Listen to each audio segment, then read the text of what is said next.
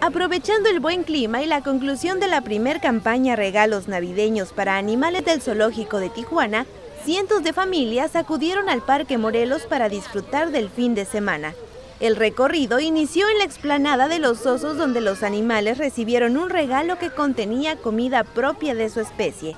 Con la actividad se dio fin a la campaña que arrancó el 11 de diciembre con recorridos nocturnos. Muchos, entusiasmados por la decoración navideña, decidieron tomarse selfies, fotos con amigos y familiares, teniendo como marco de fondo los animales del zoológico. Para frontera.info con información e imágenes de Laura Durán.